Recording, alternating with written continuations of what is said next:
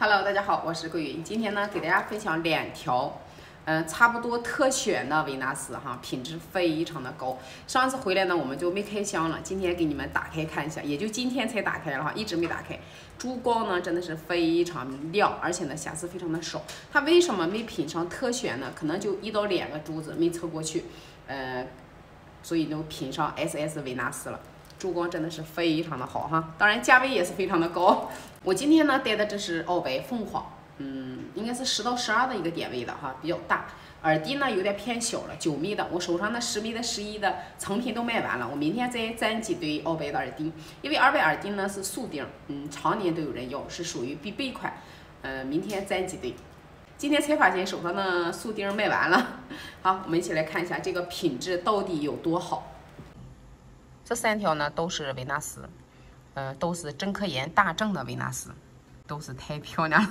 这一条呢是纯白光的，它炫彩呢带一点点的粉的那种感觉似的，它不怎么粉哈，稍微带一点点炫彩。它这条比较白，这两条呢它是属于，嗯，白光带一点点清冷，光泽都是非常的漂亮哈，都是属于一等一的珠子。但是这个呢，嗯，可以说每个珠子都达到那种。颗颗很完美了，太漂亮了，整个珠子光都非常的亮啊，太漂亮了，基本上没有什么瑕疵，应该可以说，嗯，颗颗无瑕了。但是视频里呈现不出来它那种特别极光那种亮啊。这个珠子的点位呢是左面左边这个呢是九到十一点六的，我们定价是十二万八。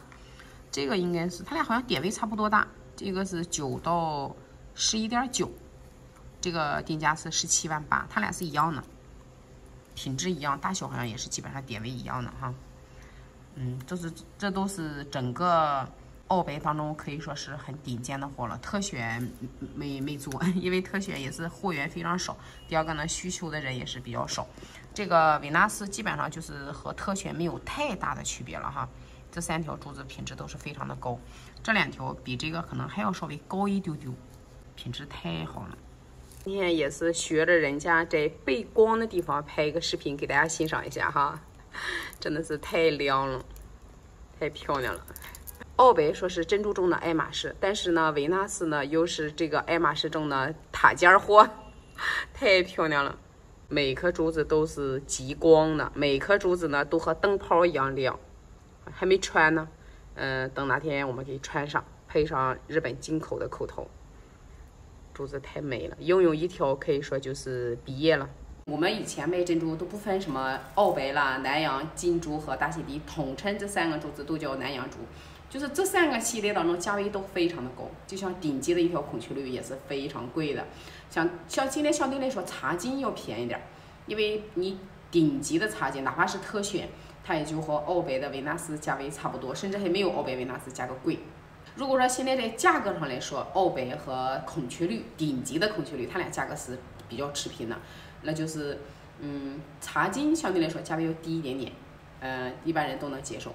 你像这个，但是澳白的高品质的也是非常的少了哈。你不管是马上六月份的港展，你们可以看一下，好品质的维纳斯也是非常少。维纳斯也分等级好的，像我们家有像像我。像我脖子上这条凤凰，完全可以说和维纳斯媲美了。不管是维纳斯也好，还是凤凰也好，它也是具体看某一条的珍珠项链哈。呃，它不像钻石，就是增数是一样的，东西品质就一样。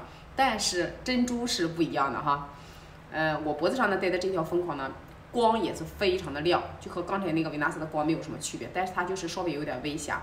但是这个瑕疵度呢，是在社交距离一点看不出来的哈。它没有那种特别明显的瑕疵的，澳白的等级就是特选，维纳斯到凤凰，特权不是每个人都能拥有的，那真是可望不可及的。嗯，我觉得花好几十万买一条串珠有点不适合。